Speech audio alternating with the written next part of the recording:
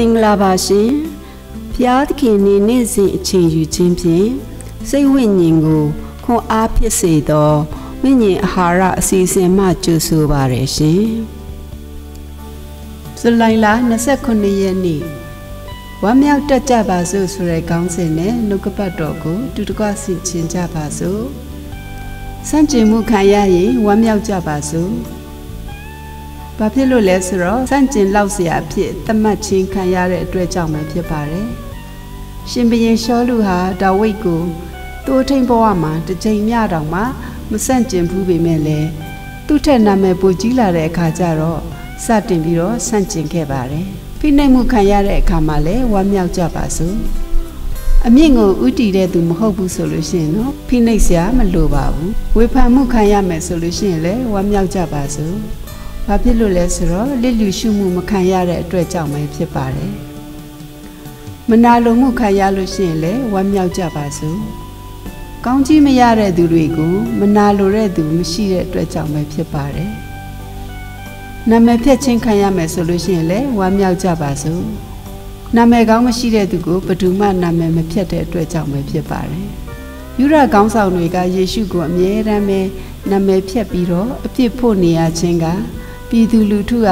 သူတို့ရဲ့နောက်ထက်ယေရှုရဲ့နောက်ကိုလိုက်လိုတဲ့အတွက်ကြောင့်ပဲဖြစ်ပါတယ်။အကြောင်းမဲ့မုန်တီးခံရမယ်ဆိုလို့ရှိရင်လည်းဝမ်းမြောက်ကြပါစို့။ဘာဖြစ်လို့လဲဆိုတော့မုန်တီးတဲ့သူထက်မုန်တီးခံရတဲ့သူကချစ်ချင်းမြတ်တာပိုရှိပါတယ်။မုန်တီးမှုခံရခြင်းဟာအပြစ်မဟုတ်ပဲနဲ့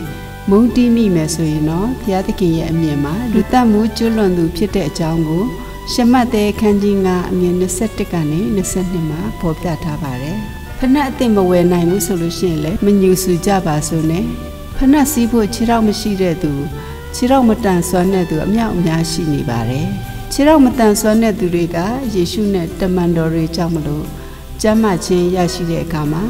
မြူတူကခုံပြီးတော့ကျေးဇူးတော်ချီးမွမ်းကြတဲ့အကြောင်းကိုတမန်တော်ခန်းကြီး3ငယ်8မှာတွေ့ရပါတယ်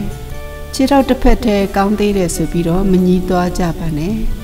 ခြေတော့နှစ်ဖက်စလုံးမကောင်းတဲ့သူအများစွာရှိပါတယ်။မူရပါချင်းမတန်တဲ့သူတွေလမ်းမလျှောက်နိုင်တဲ့သူတွေလည်းအမြောက်များရှိပါတယ်။ခဏခဏဖျားနာတယ်ဆိုပြီးတော့ထင်မြင်လို့ရှိရင်ကျမ်းမာတဲ့ရက်နဲ့ဖျားနာတဲ့ရက်ကိုနှိုင်းယှဉ်ပြီးကြည့်လိုက်ပါ။ကျမ်းမာတဲ့ရက်ပိုများနေပါလိမ့်မယ်။မွေးကင်းစအချိန်ကစပြီးတော့တက်တာတစ်လျှောက်လုံးဖျားနာနိုင်တဲ့ကြားထဲကနေပြီးတော့ ကျမ်းမာတဲ့ရက်ကပိုများနေပါတယ်။ကိုပိုင်အိမ်မရှိသေးဘူးဆိုလို့ရှိရင်လည်းမညီတွားကြပါစို့နဲ့ယေရှုနဲ့စင်တူနေတာပဲဖြစ်ပါတယ်မြေခွေးမှာမြေတွင်းရှိတယ်ငှက်တွေမှာလည်းအတိုက်ရှိပေမဲ့လည်းယေရှုမှာတော့ကောင်းချစရာနေရာမရှိတဲ့အကြောင်းကိုရှမတ်တဲ့ခန်းကြီး၈ငွေ20နဲ့ရှင်လုကာခန်းကြီး9အငယ်58တွေမှာတွေ့ရပါတယ်မိမိကိုမိမိဆင်းရဲနှုံချလွန်းတယ် ခက်ခဲကြမ်းတမ်းလွန်းတယ်ခံရတာများလွန်းတယ်အောက်ကိုစရာမဲ့လွန်းတယ်လို့ထင်မိတဲ့အခါတိုင်းမှာယေရှုကိုအောက်မေ့တတိယကြပါစို့ယေရှုကအမြဲသိမြင်နေပါတယ်မိမိတို့ရဲ့အားနည်းချက်တွေကိုစာနာနားလည်ပေးတဲ့ရစ်ပြောဟိတ်မင်းကြီးယေရှုကို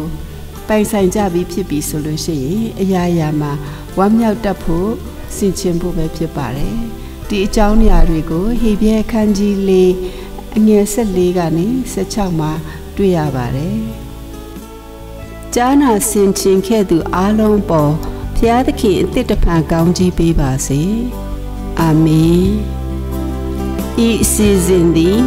နေ့စဉ်တင်ဆက်သောအစီအစဉ်ဖြစ်သောကြောင့်စောင့်မျှော်၍ဝိညာဉ်ခွန်အားယူပါရန်မေတ္တာဖြင့်နှိုးဆော်အပ်ပါသည်။